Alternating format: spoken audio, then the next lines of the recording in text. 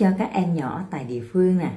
Các em ở vùng sâu, vùng xa có được một cái phương pháp học tập vui vẻ, nhẹ nhàng, học nhanh nhớ lâu, học dễ dàng mọi thứ.